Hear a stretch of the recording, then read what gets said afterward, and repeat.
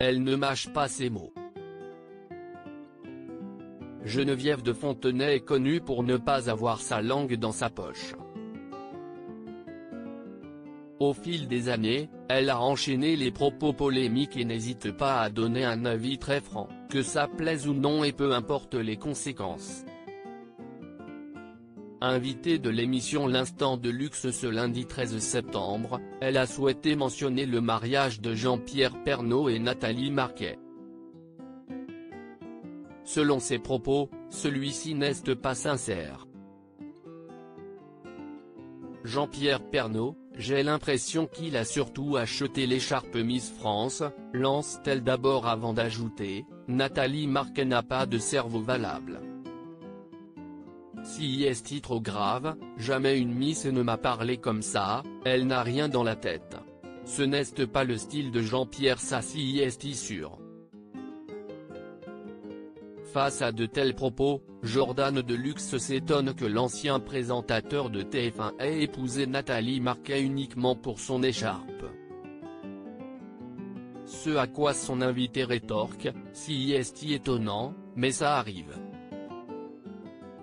La preuve que si est surtout l'échange qui attire, a-t-elle conclu. Des propos qui ne sont pas passés inaperçus. Un avis direct. Sur le plateau de Jordan Deluxe, Geneviève de Fontenay n'a pas hésité à évoquer Nathalie Marquet. Selon elle, la Miss France 1987 n'aurait pas dû être élue. Son élection a été quand même bien discutée parce que le public avait voté pour une réunionnaise, affirme-t-elle avant d'ajouter, mais celui qui triait les votes à l'époque à Europe 1 ne s'en sortait pas, alors ça a fini par être elle, mais cela devait être Miss Réunion. Par la suite, l'ancienne présidente du comité Miss France indique, nous ne comprenions pas. On attendait le résultat. Je ne sais pas comment est venu le trucage, mais comme c'était la première émission télévisée des Miss, ils n'ont pas voulu faire d'histoire. Selon elle, Nathalie Marquet a eu beaucoup de chance quand même. Si est-il comme ça que si est-il arrivé Si est-il la vérité, a-t-elle déclaré? Un malentendu qui aurait donc permis à Nathalie Marquet de s'unir avec Jean-Pierre Pernaut.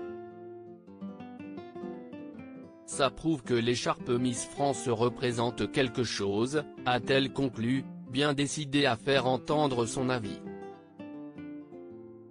Geneviève de Fontenay et Nathalie Marquet, quoi est-il arrivé entre les deux femmes?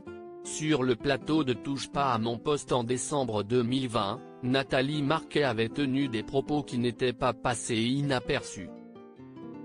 En effet, elle avait dévoilé que Geneviève de Fontenay lui a fait un coup bas il y a quelques années. J'ai envie de le dire à l'antenne, elle a vendu le faire-part de mon mariage. Je ne l'avais pas invitée, parce qu'on était en discorde, et elle m'avait supplié de l'inviter. Je lui avais dit non.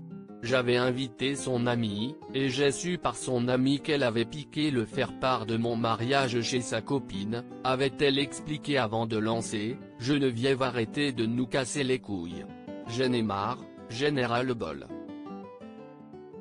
De son côté, la principale concernée a souhaité en parler ce lundi 13 septembre, je n'ai jamais compris ce qui lui était passé dans la tête à elle.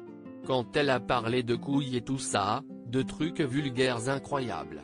Elle a été Miss France en 1987, a-t-elle conclu.